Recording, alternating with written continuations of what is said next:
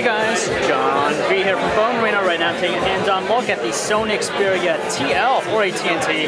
No yet on an availability date or pricing, but in the near future, and I'm just going to do a quick hands-on look at this guy. Now it features a 4.55 inch uh, Bravia engine display, uh, 720p resolution of course, 1280 by 720 pixels, just like what we found with the Xperia Ion, so it has nice details, great viewing angles, and if you love watching videos, something you want to take a look at. It's worth noting that this is the James Bond phone coming out with the movie Skyfall.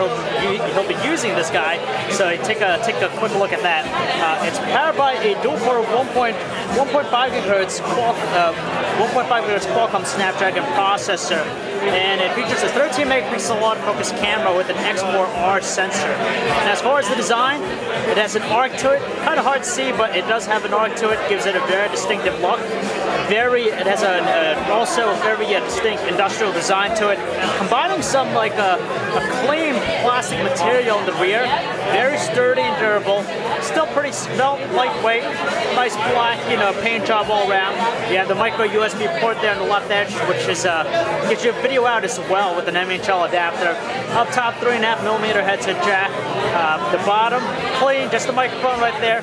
And on the right side, you got quite a few different buttons. So the power button, we have your shutter key, uh, volume control, and it looks like your slot right there for your SIM. Uh, it's powered by, uh, as I said, a, a dual-core 1.5 GHz Qualcomm S4 processor.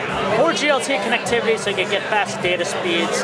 Overall design, you know, pretty much similar to any of the other Sony uh, Xperia devices we've been checking out on, uh, on AT&T of late, like the Ion here. And it's going to be featured in the next James Bond movie called Skyfall coming out soon.